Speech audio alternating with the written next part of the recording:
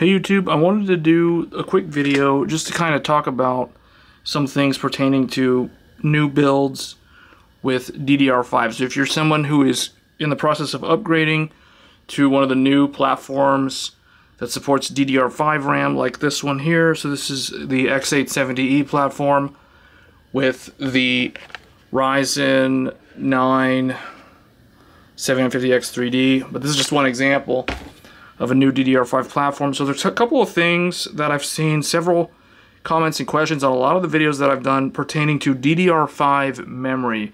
So I wanted to make this video just to kind of shed some light on this, kind of more of like an informational video. So if you want to run four sticks of RAM, you can do that.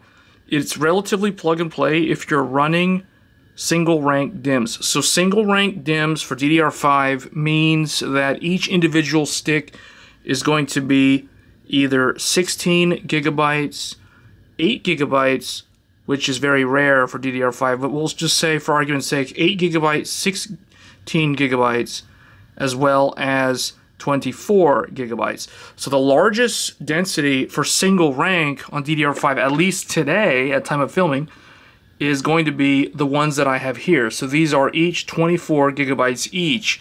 So you take 24, you multiply that by 4, you get 96 gigabytes of RAM.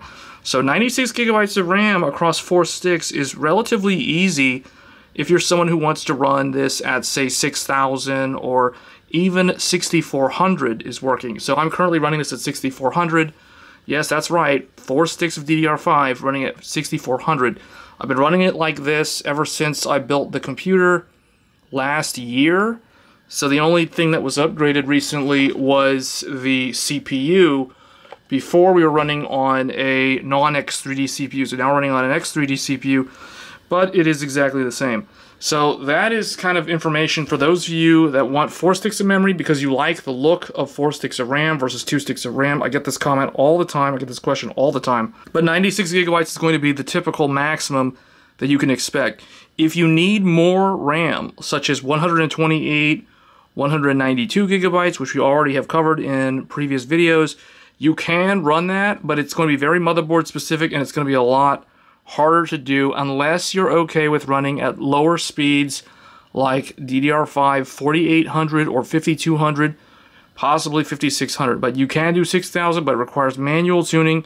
It's very board specific, and you really need to understand what you're doing, specifically with the proc ODT and the on-die bus terminations, because the resistance values are actually the things that can determine whether or not you can get that working with full stability or not.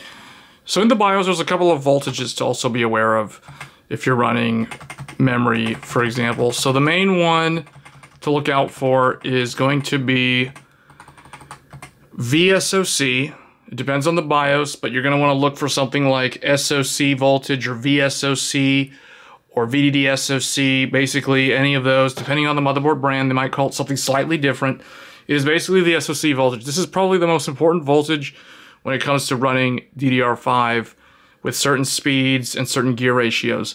So this one, typically, if you're running only two sticks of memory up to 6,000, you don't need a lot of VSOC. It can stay anywhere from 1.0 to, or, you know, 1 volt essentially, up to 1.2 volts, which is what we're running here. Now, anything above 1.2 volts is going to be a lot higher than average. And unless you're really trying to do some insane memory overclock on the memory controller, you don't really need to push this above 1.2 volts. So my recommendation for most people that just want to run DDR5 6000 or up to DDR5 6200 or maybe even DDR5 8000 in a 1 to 2 ratio is to set it manually to 1.2 volts. I feel like this is the easiest way to guarantee stability without having to deal with higher idle temperatures, higher idle power consumption because you're running at a higher VSOC voltage. Because this voltage affects the I.O. die, and that does take away from your overclocking headroom on the cores. So just keep that in mind. So the higher this number, the lower your overclock headroom if you're doing something with PBO or curve optimizer. So you don't want this to really go above 1.2. 1.2 is my recommendation. That's probably the most important voltage. Then the other ones VDD, so this is the DRAM voltage, and DRAM VDDQ. So these typically are set automatically when you load an Expo or XMP profile from your RAM kit. So you typically don't have to change these. The RAM kit that I'm using uses 1.35 volts, but you normally don't need to change it. Sometimes you do. It really depends on what you're doing with the memory and whether or not the memory is on the QVL list of your motherboard. So I highly recommend purchasing RAM that is on the QVL list of your specific motherboard. So, but this typically are the only other two voltages. The only other voltage besides those would be this one here. So the CPU VDDIO, this is memory controller voltage. This one typically will match or be very close to the actual VDD and VDDQ voltage. So the 1.35 from the memory XMP profile or Expo profile. The VDDIO typically is a copy of that, but not always. Sometimes it's 0.1 volt higher or 0.01 higher. That's what I've seen on average testing a bunch of different motherboards and memory kits.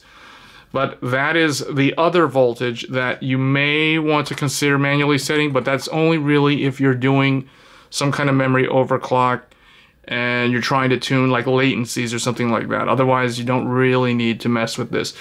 But those are kind of the primary voltages to be aware of for those of you that are upgrading to a DDR5 platform.